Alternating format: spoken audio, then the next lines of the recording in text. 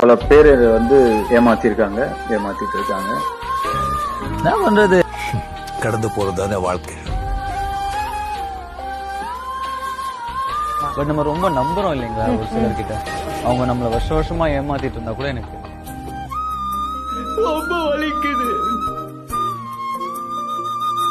அப்புறம் என்ன? பழகிறோம்